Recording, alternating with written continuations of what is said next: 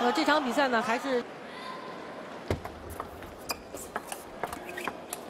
呃张继科呢，大家都很熟悉了。丁香他还是，我觉得从他身上还是充分体现出中国他作为一名年轻的运动员，他身上那种拼劲还是非常足的。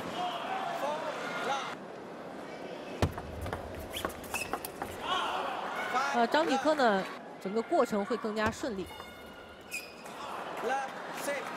从朱世赫打完之后，感觉现场的观众情绪啊，没有那么高涨了。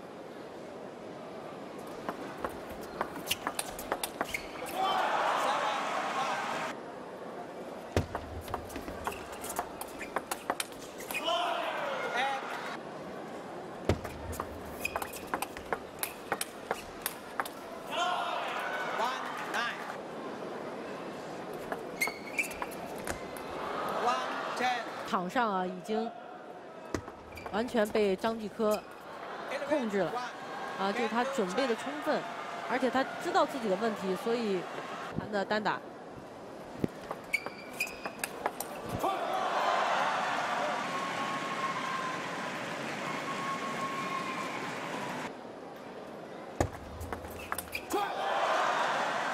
他自己，呃，自己在场上这种投入性。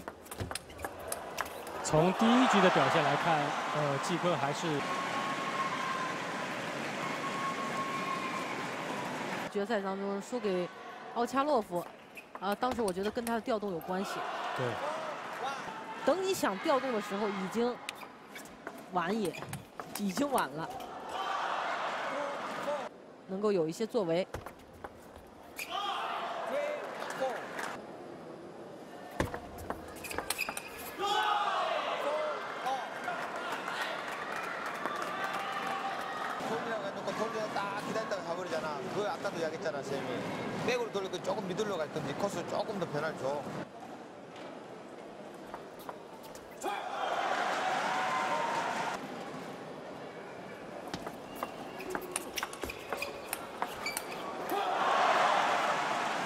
保持或者发展下去，你你给他提一点。作为男性来看的话，他这种呃 技术的这种创新和变化还是非常技术，不能在比赛当中发挥出来以后，其他的技术是不是能够保证他通过各种技术组合到一块儿，十一分是凑起来的，有进攻也有防守，但是在其他的技术上面，基哥怎么样能够更加相信？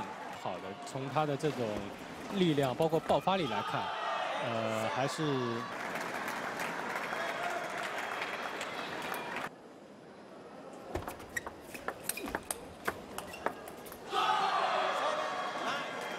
好像比原来的这个时间安排更加紧张了一些。嗯，因为作为运动员来说的话，呃，他每天考虑的。现在比分反超了十比七。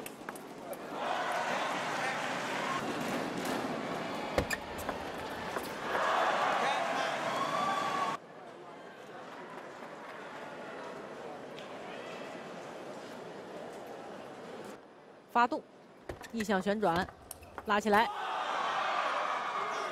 拿下了关键的一分。其实这一分啊，丁翔恩的接发球质量还是很高的。继续来看一下双方比赛的第三局，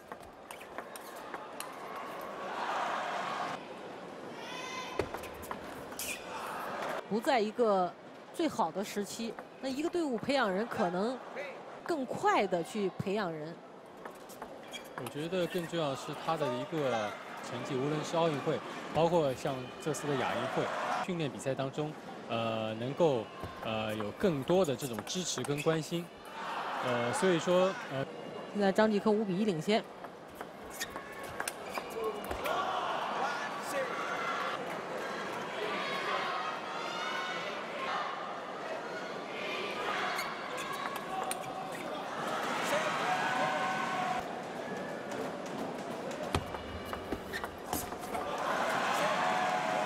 的整个团队的一个荣誉，形成对拉。哎呀，这个球机会太好了！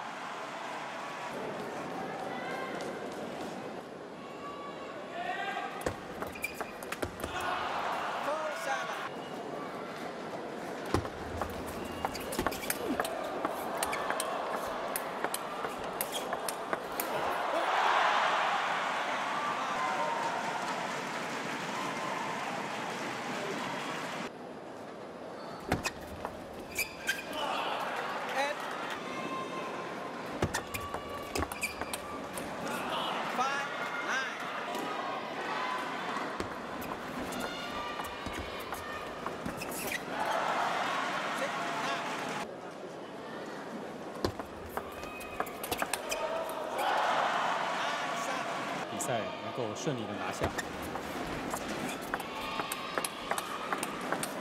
好球！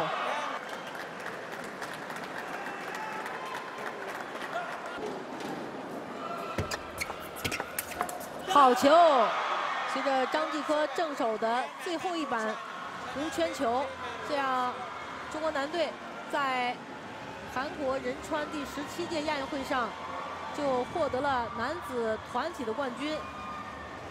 我们也祝贺中国乒乓球男队。王励勤，你看了今天的比赛有有没有什么感慨？跟我们分享一下。